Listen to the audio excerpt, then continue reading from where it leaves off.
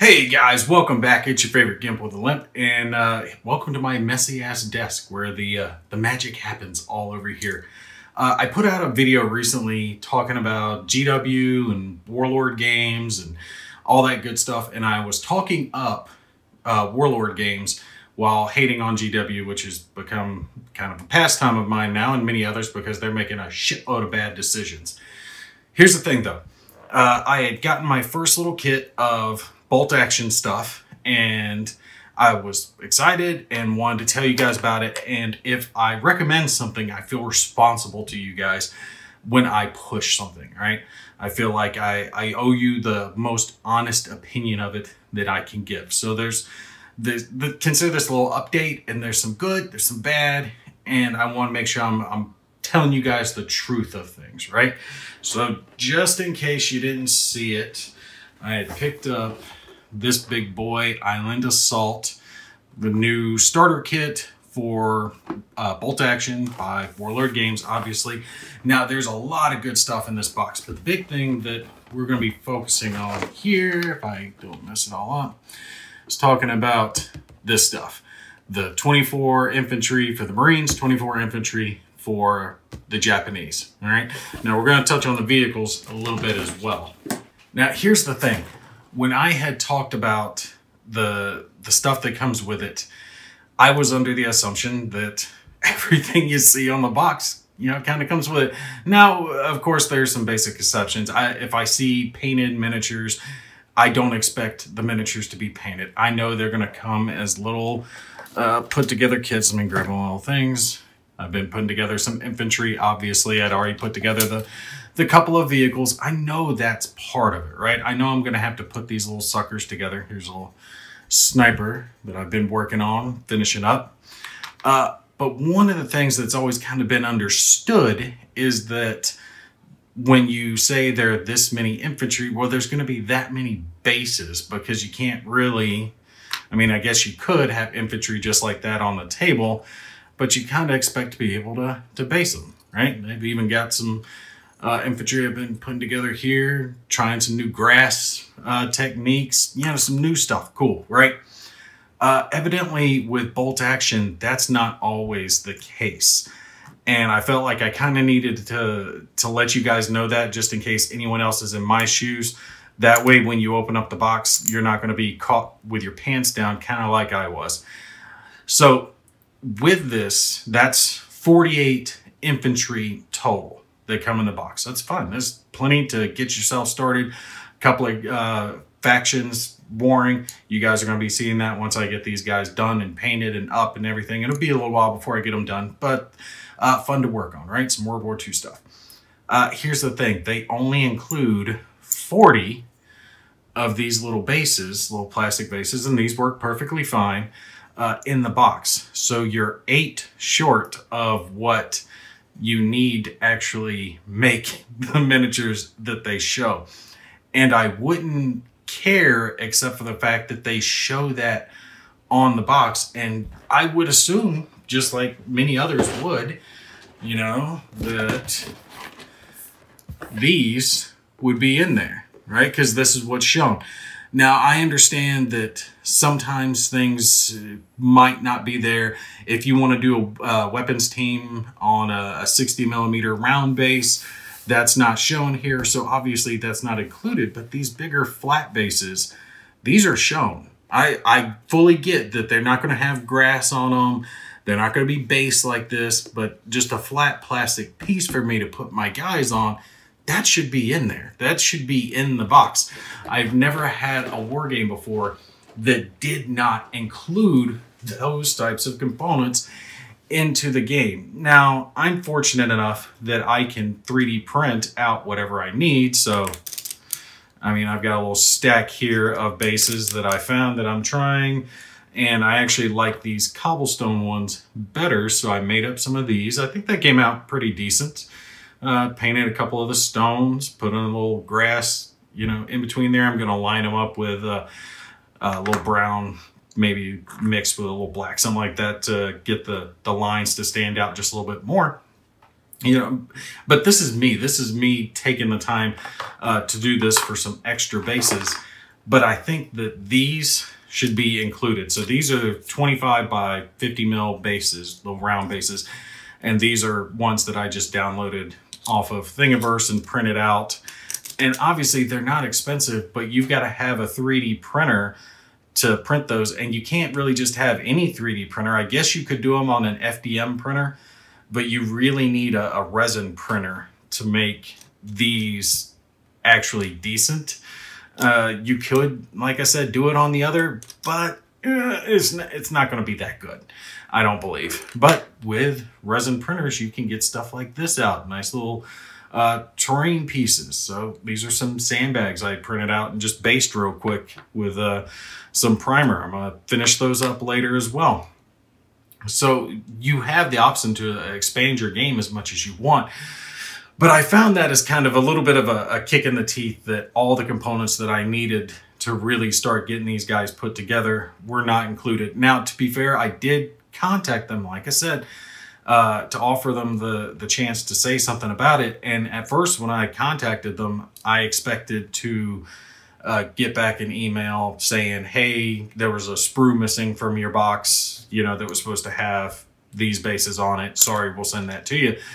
Uh, but I actually never heard from them. And I, I hate saying that, but I gave them uh, over a week uh, to respond to it and still haven't heard anything back. And I'm not going to sit on it forever because I do have that video out already.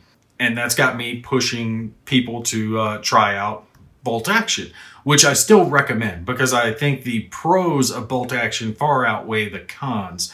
So if the, the biggest con that I can draw right now is the fact that they don't include a, a necessary component it's not the end of the world because it's relatively easy to either make or get bases. You can even carve your own out of thin MDF, uh, MDF or um, uh, that plasticine boards. I mean, it's not hard to make your own bases. Uh, paint them up, doll them up, put whatever you want on them so you can make the game your own.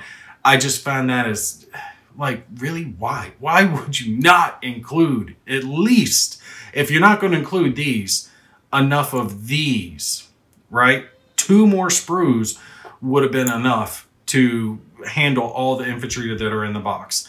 And I'm like, really? You guys couldn't have included at least enough round ones? It doesn't have to be, uh, you know, a, an oval one if you don't make those or you don't have easy access to them, whatever. That's fine, but at least include enough of the, the basic round ones uh, to, to fill out all the infantry. That that caught me by surprise. That's like buying, you know, Space Marines and not having enough bases in the box to uh, take care of all the Space Marines that are in the box. I, I've just never seen it before. Now, others who have played the game more than me might think it's a, a common practice. And if I'm wrong, let me know. But to me, it was a very odd thing to have those components missing. But on the flip side, for other advantages, you know, there are things that are included in the box, obviously, like We've got our half track here for the Marines and the tank that is for the Japanese, right? I think this is the, I can't remember. I know this is the Type 97 or the 95. I think the 97 is the bigger one, but I've got the smaller version, the light tank version here as well. And this is one that I printed. And tell me, you can really tell the difference between these two, with the exception that this uh, turret isn't mobile like this turret is, but easily, easily in the same ballpark. Obviously, this tank's bigger, but this is a bigger tank, so it's going to be larger. But 3D printing has gotten so good now that you really, really can't tell the difference uh, with them. And especially once you get them painted and on the board, they're going to be looking good. I went and made another uh, half track for the Marines, just in case I want to have this vehicle to use. And this has got a 40 millimeter Bofors on the end of it, which is awesome. This one does look a little bit more different. I think the detail obviously is just a little better on, on the manufactured one than the 3D printed one. But once I get these painted on the table, you're really not going to be able to tell. I mean, you really just can't tell a difference. Uh, make sure if you do 3D print these that you are careful. Things like barrels are a lot more fragile when they're made of resin uh, versus this. But that is one of the benefits that you're going to find with a game like Bolt Action over uh, games like Warhammer is that World War II cannot be patented, right? So these vehicles can't be patented. It's very, very easy to find uh, components to expand your game with. They're easily downloadable on the internet and you can basically print off whatever you want to print off to expand your game and not even just the vehicles but stuff like this as well. The uh, the terrain aspects these actually came with the uh, the box game themselves the little pill boxes here. I like this one. Nice big underground pillbox. got some wall pieces that I'm working on but you can expand the game however you want to. And in fact, I like I like these cobblestone bases better than I like the bases that come with the game because the ones that come with the game are just plain. So this gives me a lot more expandability for what I'm doing versus uh, some of the other things, right? I can do whatever I want, make it look that much better on the table. Plus the book that comes with it, the, the manual gives you a buttload of information. And the back of it, there's a lot of unit information in here. So you have access to a lot of the information you need to run the 3D printed stuff that you've got going out. You're never going to have that type of access to stuff, uh, GW type stuff, right? They're, they're never going to give you access. Uh, one book that has all the factions listed. Let's see, it's got it here at the front. Uh.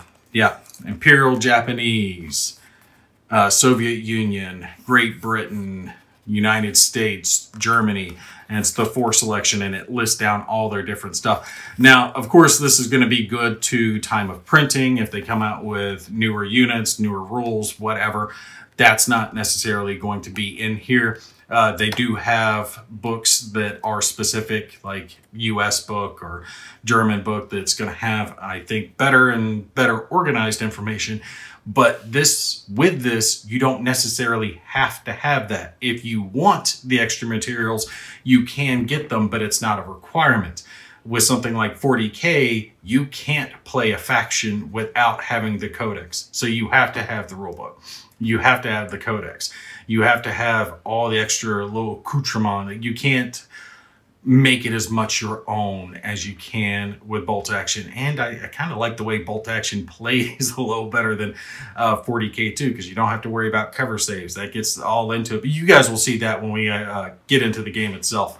But yeah, uh, I'm ranting here a little bit. I don't want to go on too long. Uh, I did want to update for those who are looking into bolt action uh, a little bit of this information. Uh, just be aware, especially if you're getting infantry packs, that you're not necessarily going to get uh, enough bases. So either buy some extra bases or make your own if you have that ability, if you do have a printer, because these are easy as hell to print out. You make a bunch, uh, bunch, bunch, bunch more versus the cost of what you're going to be spending in uh, resin. So yeah, definitely 3D print them if you can. I do need to add as a nice little addendum, or not nice, but a little addendum to that. Uh, I did mention that the models, GW models, for example, are better and the manuals for putting them together are better than the ones you're going to find in bolt action. If you do have any experience putting together models, things like this, like this just gave you basic pictures of how to put it together. It didn't have numbers or letters, but it was not hard to put together. You could fairly easily understand how it's going to go together. The, the instructions are a lot more simplistic for these models than they are with others. So if you do have a little experience with models, uh, more than likely you'll be able to get check through it. But otherwise, uh, take your time, make sure that you're lining your pieces up uh, correctly before you start applying the glue. Otherwise, you might make a mistake or two. And obviously, since they are a little bit smaller, like I said previously, things like weapons are a little more brittle and easier to be broken off. I mean, it's not like 40K doesn't have uh, thin pieces that can be broken off as well, though. I mean, if you look at this many here standing on a single foot with a sword hanging out and long ass hair, this could easily get broken just as well as this. So it's not like that's uh, a bolt action only problem. That problem can be with any of the models, but it's just going to be a little bit harder to put these together than it is with the others. If you have any any semblance of intelligence, though, you can definitely muddle your way through without too many problems. Uh, same with the infantry, since they do give you the ability to kind of pose the infantry however you want. It it makes it harder because there's no set put arm here, put leg there as far as putting infantry together but you do have so much more freedom in how you do put them together. Now, this kit did come with a uh, instruction booklet that says make these infantry and it shows you the poses that they're in, which makes it very easy to decide which pieces uh, to put which part, uh, how to build them so you have a set squad that's ready to go you know, right out of the box. That I do appreciate them doing. It made it a lot easier when it came to the infantry. Rather than just going off of this, which just lists down all your pieces and, uh, hey, figure it out. Hope it works for you. This is generally what you're going to get if you just get infantry, but just to show you guys, this is what came with it. And it shows you build these two, then build these two then build these guys and it lists down the the types, what weapons they're having, all that stuff. So you can easily see the, the parts and how they're put together to make the squads that come with this box. But again, that's the thing. they show these bases, but they're not in the box. That's the big thing that I wanted to let you guys know about. Like, why would you show something that you that you didn't include? Why? Why would you make that choice? That is a bad choice. Don't do that. Bad Warlord games. If you don't want to include all the bases, fine.